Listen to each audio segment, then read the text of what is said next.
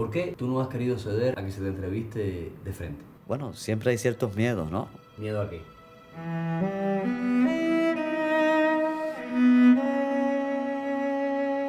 Se va al extranjero buscando la libertad. No pienses que la libertad, la verdadera libertad está en ti. Todo vino a partir de una carta. Llegándome uno loco, ajeno al fatal desenlace.